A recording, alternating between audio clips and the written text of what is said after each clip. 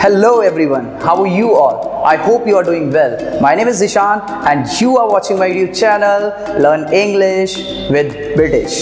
Today we are going to discuss about a very interesting topic. आज एक नए interesting topic के बारे में डिस्कस करने जा रहे हैं आज मैं आप लोगों को कुछ ऐसी इंटरेस्टिंग वोकेबलरी देने वाला हूँ जिसको आप यूज़ करके you can be fluent also and you can enhance your vocabulary like we have been speaking so many words बहुत सारे वर्ड्स ऐसे हैं जो हम घिसे पिटे वर्ड जिसको हम बोलते हैं। बहुत लंबे समय से हम वर्ड्स बोलते हुए आ रहे हैं। लेकिन होता क्या है, उन सारे वर्ड्स को बोल बोल के, बोल बोल के seriously we all got bored हम सभी लोग बोर हो चुके हैं। आज मैं जो बताने जा रहा हूँ आप लोगों को, वो कुछ इंटरेस्टिंग होगा, कुछ नया होगा, कुछ इनोवेटिव होने वाला है। So please guys sit back relax and watch my video till the end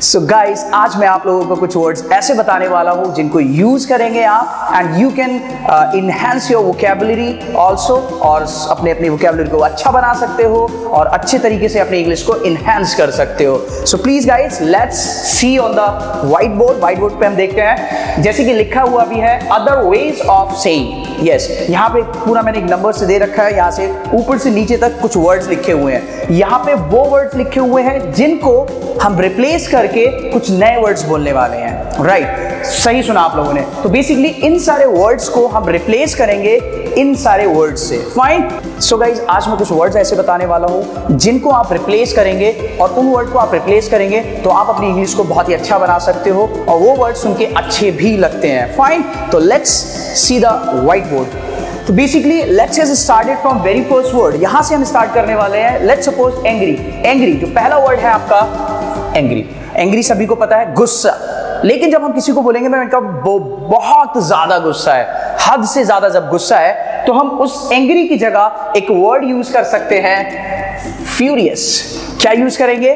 furious मैंने कहा, वो बहुत गुस्से में है। He is furious and the next word would be bad अब बुरा, बुरे के लिए हम बैड वर्ड का यूज़ करते हुए आए हैं। कोई भी चीज़ बहुत बुरी bad bad how long you want say that bad bad इसकी जगह पे आप एक नया वर्ड यूज़ कर सकते हो। Obnoxious. Yes obnoxious. Obnoxious भी कोई भी चीज़ जो बहुत ज़्यादा बुरी लगती है सुनने में, या कोई भी ऐसी चीज़ जो बहुत ज़्यादा बुरी होती है तो उसको हम obnoxious बोल सकते हैं।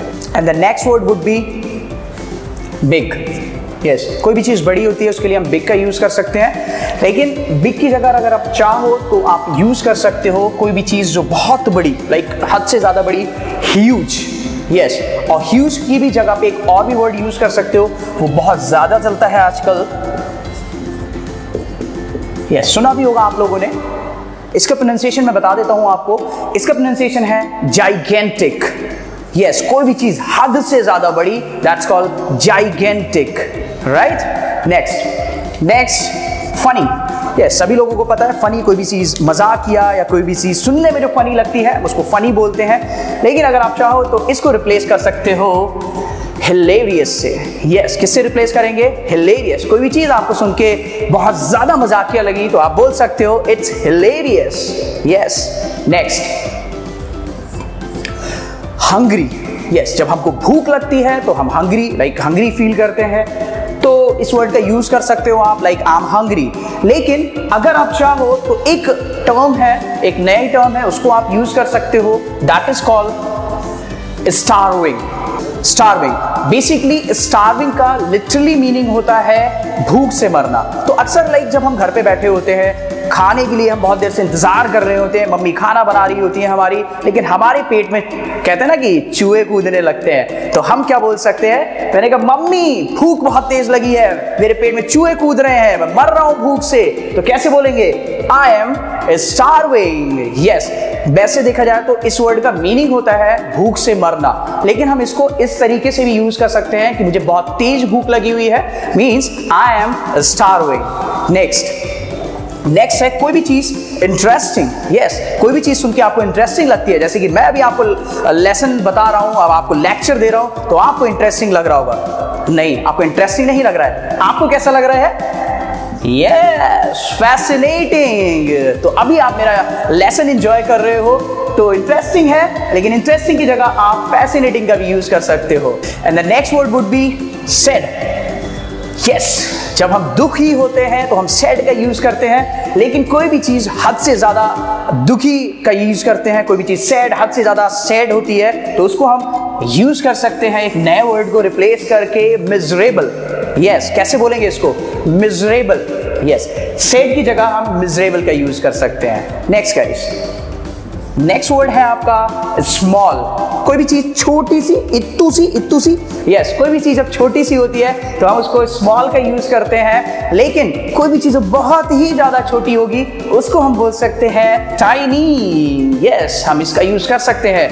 लेट्स सपोज़ जैसे कि पहले एक मेमोरी कार्ड आया करता था छोटा हुआ करता था अब वो और छोटा हो गया अब एप्पल के जो आईफोन में लग रहा है वो तो और भी छोटा है तो उसको कैसे बोलेंगे? मैंने कहा it is so tiny and the next word tired fine जैसे हम लोग सुबह से लेके शाम तक काम करते हैं तो थक जाते हैं तो आप सिंपल बोल सकते हो कि आ, मैं बहुत ज़्यादा थक गया हूँ आई एम टायर्ड यस लेकिन अगर सोचो लेट्स एक example of any working guy suppose उसका काम हो सकता है कि मार्केटिंग का काम हो, उसको सुबह से लेकर शाम तक बाइक से जाके मार्केटिंग करनी हुआ करती हो, और वो रोज इस काम को करता हो तो सोचो सुबह से लेकर शाम तक वो मार्केटिंग कर रहा है तो इवनिंग में उसकी हालत कैसी हो जाएगी? बहुत ज़्यादा थक जाएगा वो, कभी इधर, कभी उधर। तो हम उसको बोल सकते हैं एग्जॉस्टेड लेट सपोज़ मैंने कहा मैं हद से ज़्यादा थक गया हूँ। तो कैसे बोलेंगे?